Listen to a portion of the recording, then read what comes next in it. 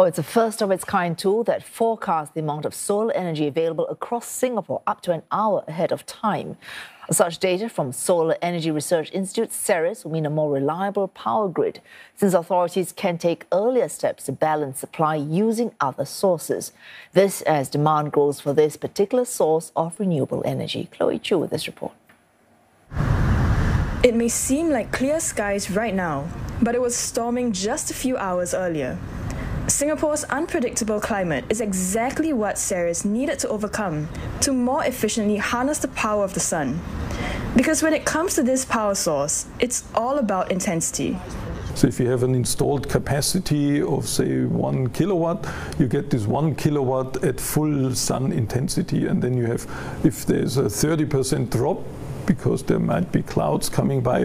Uh, there's also a 30% drop in power output. So the cloud cover and how much in sun intensity hits the solar panel, that's uh, very critical to uh, understand how much sun solar energy is generated.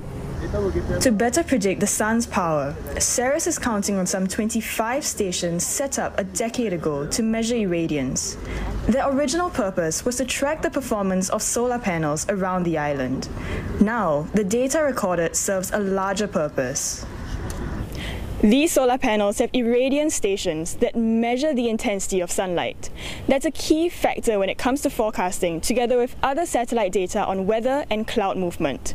The sensors will transmit live data to the office and forecasts can be generated in five-minute intervals. The Institute studies data collected over the years and with the help of artificial intelligence provides a forecast to the Energy Market Authority. This is especially crucial as the nation aims to deploy at least 2 gigawatt peak of solar capacity by 2030. That's enough energy to power 350,000 households a year.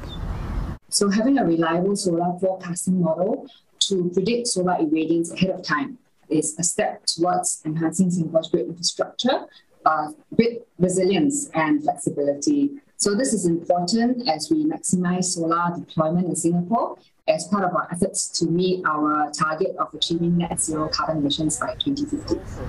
SERIS plans to sell its forecasting system to other tropical countries too. It comes as demand for such a service is rising and as pressure heats up for solar farms worldwide to manage their grids more efficiently.